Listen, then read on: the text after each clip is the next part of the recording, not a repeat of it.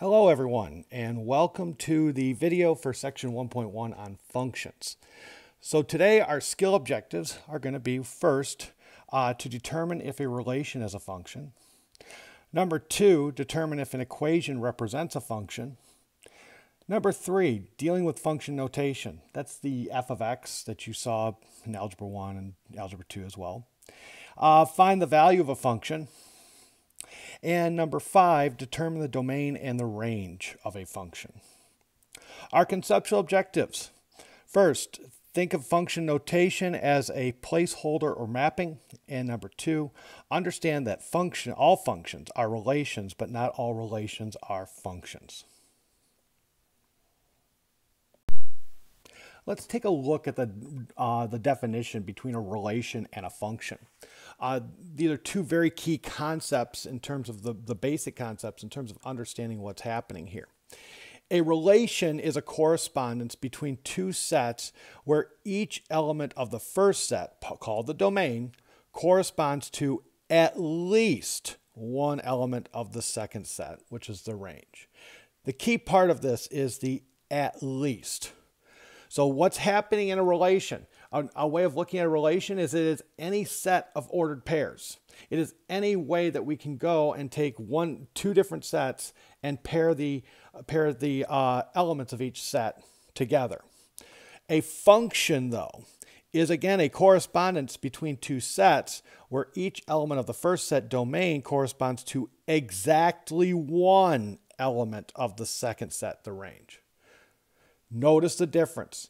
An element in a relation, an element in the domain could be assigned two, three, four, whatever number of values from the range. Where in a function, every element in the in, the elements in the domain are assigned exactly one element in the range. So one way that we can go through and show a function or not a function is really to look at the sets graphically. So what we have here uh, in this, I have set A, B, C, D. This is my domain and my range is the numbers 1, 2, 3, 4, and 5. And what's happening here is that we are assigning, we are pairing up elements of the domain with elements of the range. So in this case, when the arrow represents a pairing. So when I take a look at this first one right here, in this case, A is being assigned 1, B is being assigned to 2 and to 4, C is going to 2, D is going to 3 and 5. Now in this situation here, because I have uh, B and D, where I have two arrows off, this would not be a function.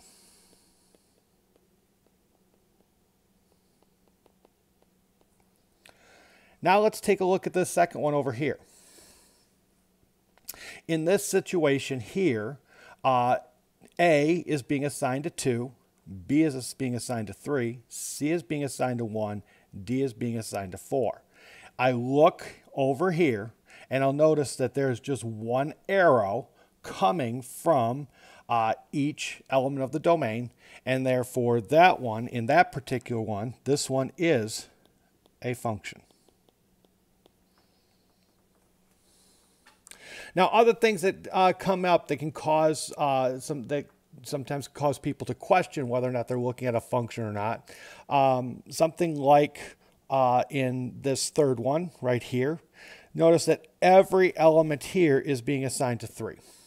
Now, in terms of a function, the key part of that definition is that each element of the domain is being assigned one element of the range it says nothing about whether or not those elements of the if that there's multiple values in the domain that are assigned the same value in the range. That's okay.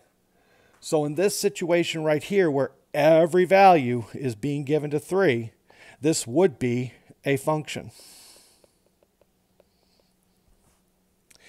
And in the last one here, uh, you'll notice that A has been assigned to three different locations.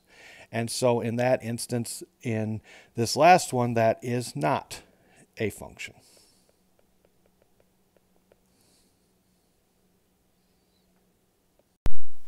Now the key part for you moving forward is looking at the different ways you can you can we can represent a function and using how we can go through and use those different representations and determine if what we're looking at is a function or not. And the ways that you're going to have to look at, you're going to be looking at a set of ordered pairs. You're going to be looking at a an equation, determining if the equation represents a function. And the third thing you're going to look at is the graph. So right here, the key we're going to be talking about in this slide, how we can recognize a function or not. Now, the first thing we have here that I'm looking at in this problem is the list of ordered pairs. And really what you're going to look at is that no two ordered pairs have the same x coordinate. That's all you're going to look at. Because remember, in a function, each element of the domain has one element of the range. If I have two different points that have the same x coordinate, different y coordinates, now I have an element in the domain that has uh, two elements of the range, and so therefore it would not be a function. So really just on this one, just go and look when you see a listing of ordered pairs, just determine do any of those points that are listed have the same x coordinate? If they do, not a function.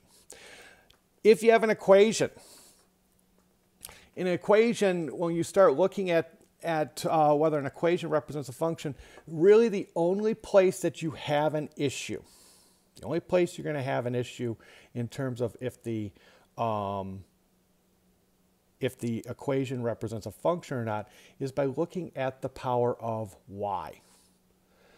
Look at the power on y. Don't worry about the power on x. What you're going to look for is in a function, the powers on y will always be odd numbers.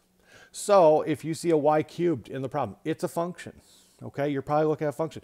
But if you see an even power on the y, if you see a y squared, if you see y to the fourth, something like that, then you're not dealing with a function. Okay, so make sure that the only powers on y that you see in the problem are odd, then you have a function. If there's one power of y with an even power, one y with an even power, then you don't have a function. Graphically, Graphically, you have what's called the vertical line test. Okay, you might remember that vertical line test from last year or from Algebra 1. The idea is that a graph represents a function if a vertical line, if any vertical line, crosses that graph at most one time. It might not touch it in certain spots. That's okay. Like if you graph out on your calculator the square root of x, when you're using negative values for, if you look at that graph and you see where uh, when x is negative, you're not going to see any graph, so a vertical line wouldn't touch it there. But it's still a function. You continue on, when you get to the positives, it's going to hit one time. As long as that vertical line hits it, hits the graph at most one time, you're dealing with a function. So let's look at these uh, first two graphs that I have here and here. Okay, on this graph right here, this one right there, I go through, I imagine various vertical lines. And I can go through and say, and when you see the arrows, they continue on in that pattern. I would say this graph right here, that first graph, this is a function it will pass the vertical line test. Okay.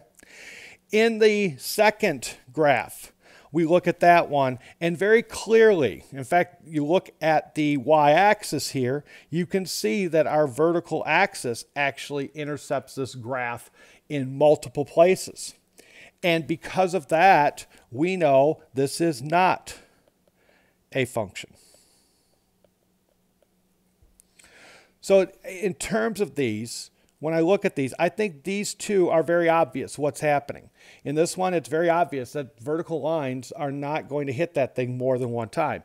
In this one, we have a whole bunch of vertical lines that can hit this graph here uh, multiple times. Okay, it is, it is very obvious that this graph here will not pass the vertical line test. Now we get to something like this function, this graph here. And we look at that and we say, oh, passes, passes, passes, passes, passes, passes.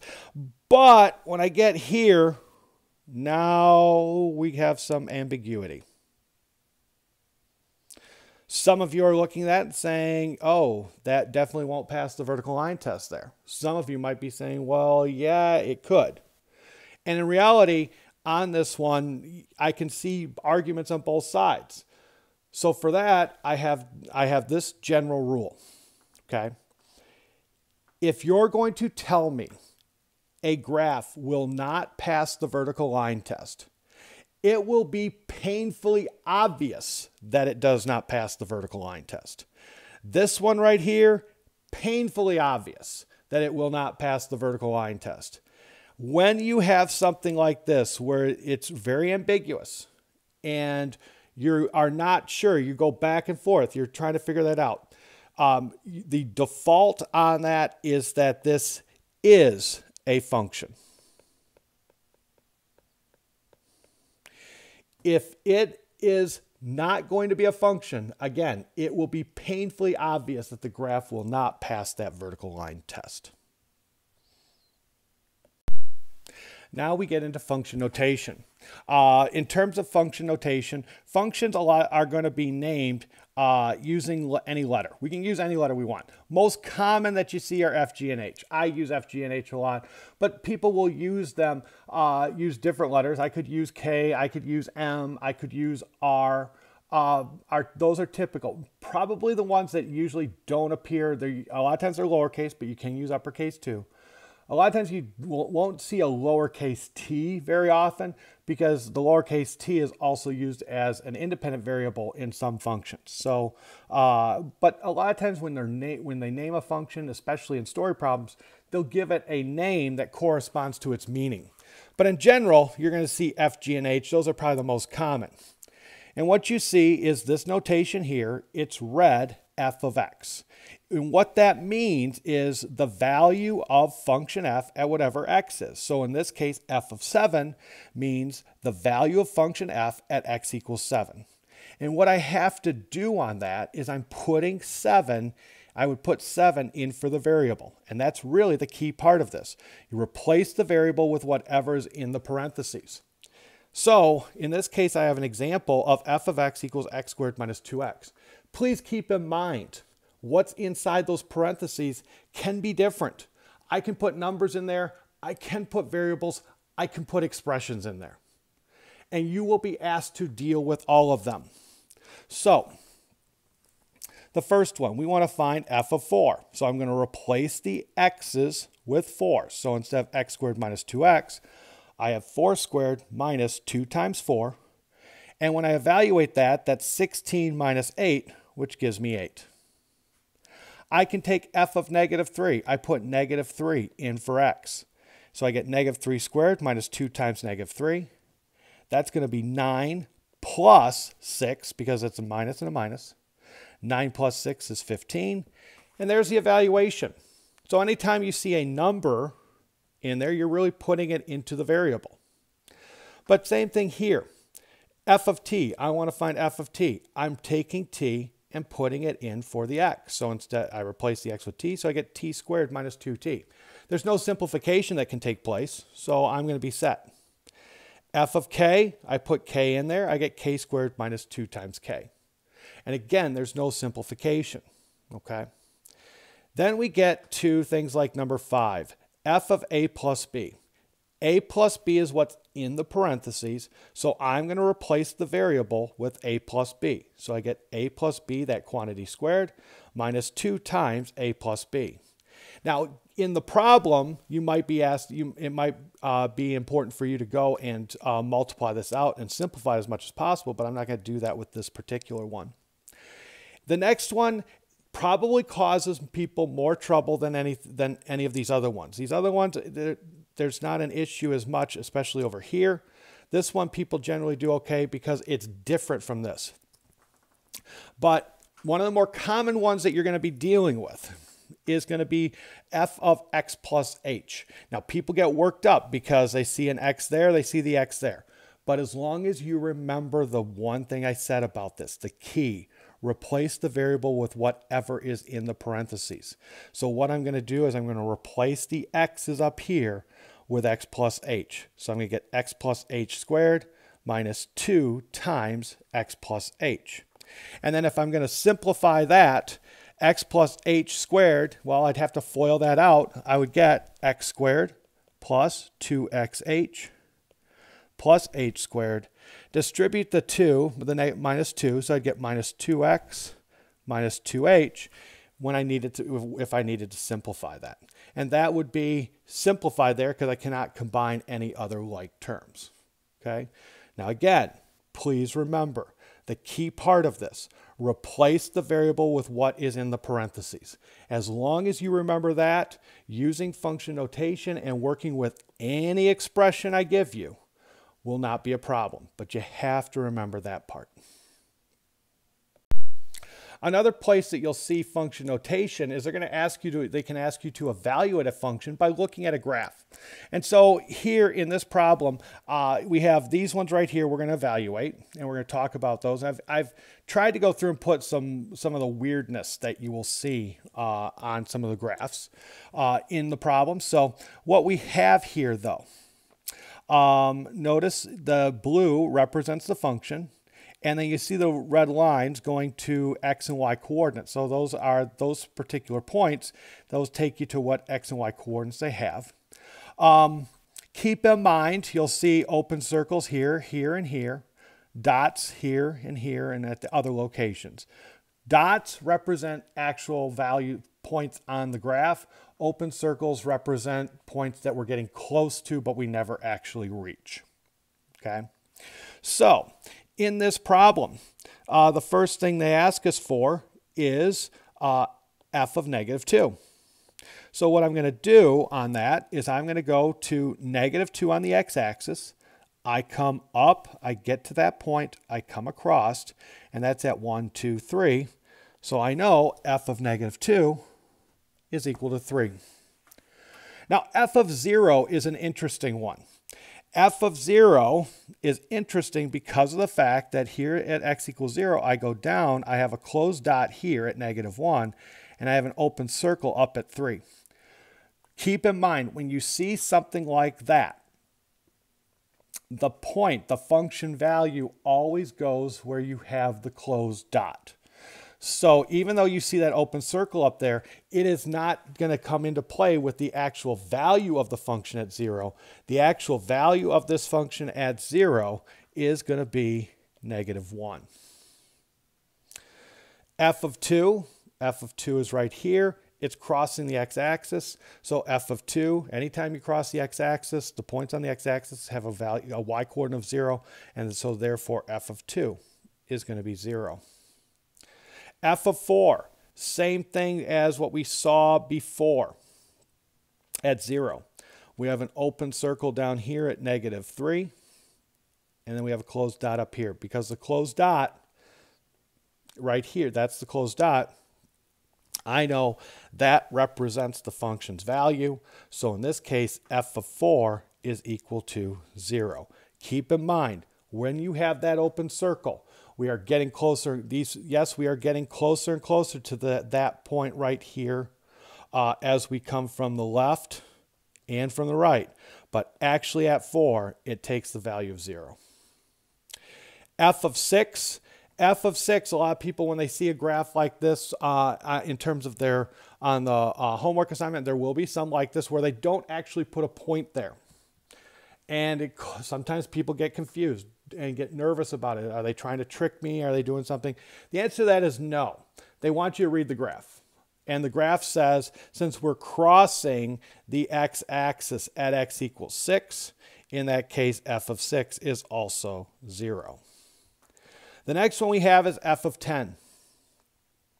f of 10, uh, 10 on the x-axis is here, and we go up, and we look at 10 and we see there's no closed dot anywhere. And the only thing I have is this open circle at 10 that comes across and has at, at the, the open circle at the point 10, 6. In that instance right there, because I don't have any closed dot, because I don't have any closed dot, uh, f of 10 does not exist.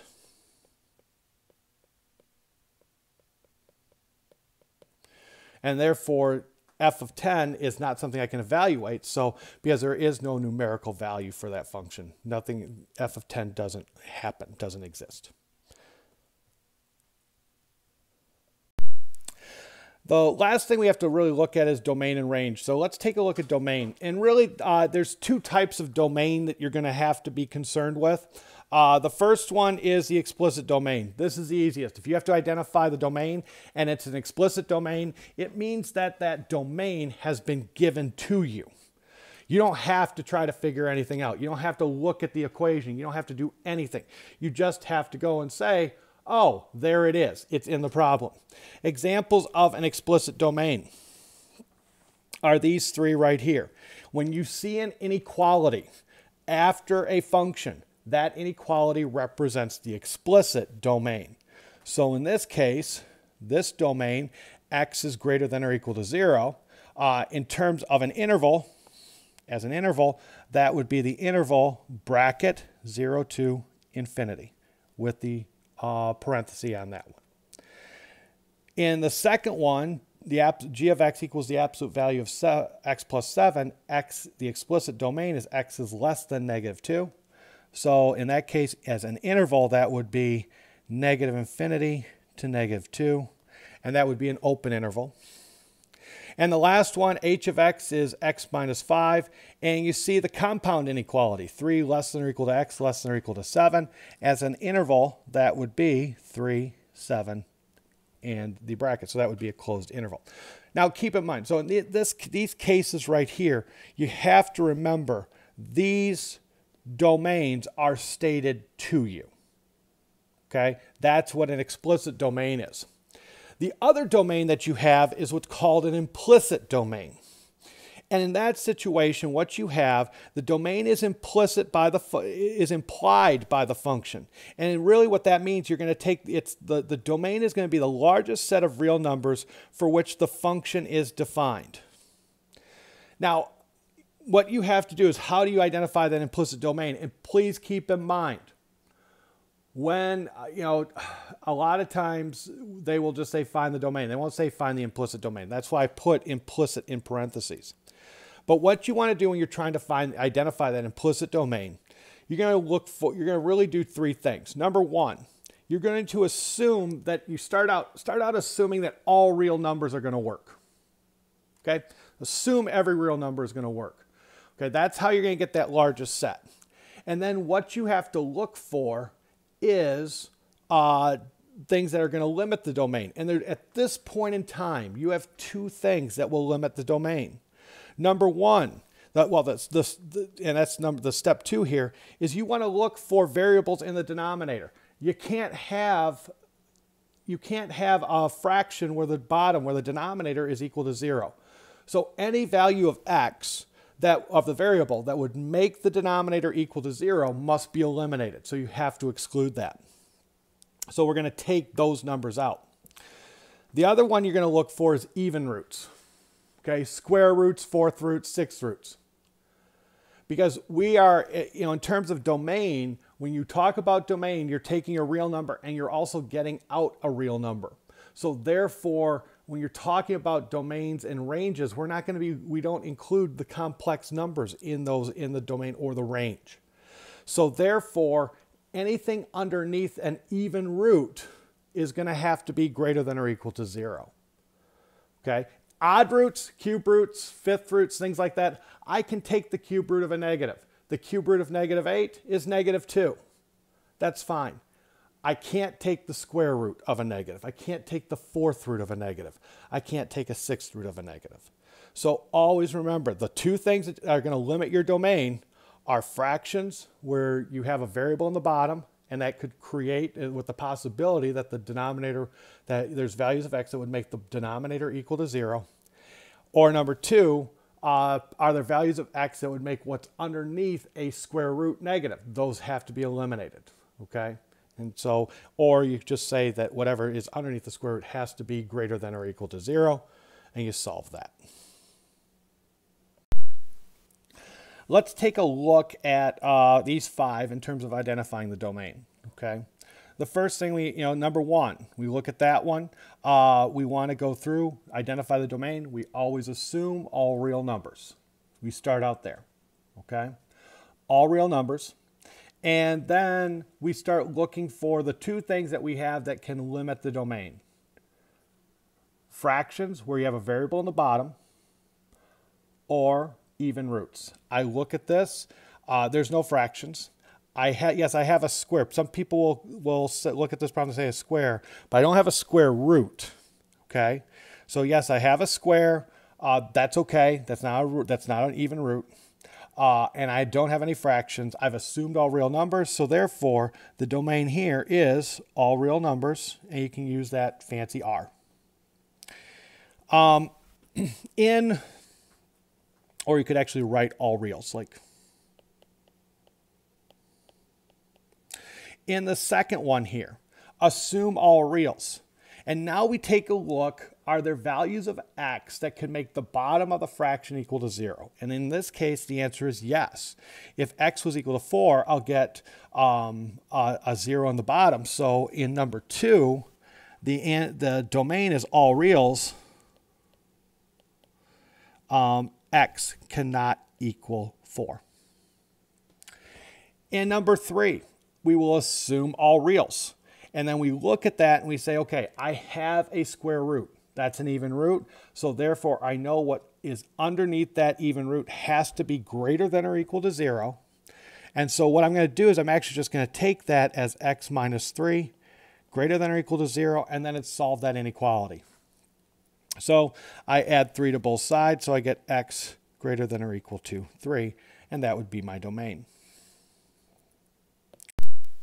Now, four and five are there uh, because they both illustrate the same thing. Okay, just because you have a fraction with a variable in the bottom does not mean that you're going to be eliminating anything. Just because you have an even root does not mean you're going to be eliminating any parts of that domain. And these are two instances where that's the case. Both of these have inside x squared plus 1 or in the bottom x squared plus 1. x squared plus 1, yes, we have a fraction with a x in the bottom of a fraction. But x squared plus 1 can never equal 0. And so therefore, the domain of that of this problem right here of f of x equals 2 over x squared plus 1, that domain remains all reals. And the same thing here. x squared plus 1 can never, ever be negative. So therefore, the domain on this is going to be all real. So both of these here have a domain of the real numbers. Now, the other thing you do have is uh, sometimes you'll want to be working with intervals. And uh, so with the intervals from, uh, you may remember, uh, all reals is the interval from negative infinity to infinity. When you have all reals where you're not equal to 4, so in that case, to go from negative infinity to 4 with a parenthesis, union 4 to infinity using parentheses on everything. X greater than or equal to 3, bracket 3 to infinity. And again with these, negative infinity to infinity.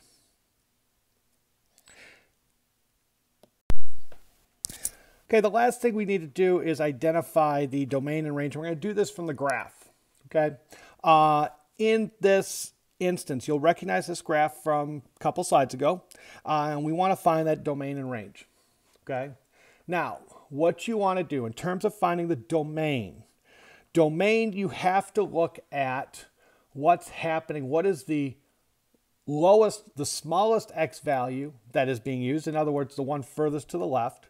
And what is the largest x value being used? The one furthest to the right and then make sure that all the x values between are also being used. If they're not, those ones are going to have to be excluded. So in this instance right here, my lowest x value in this case is negative 2. My highest x value being used is 10. Okay, and I look and I say, okay, I had an open circle here at 0, but at zero, we're taking, there is a closed circle there. There is a closed circle there, so we are including that. The only place that we have a open circle that's not included is at 10.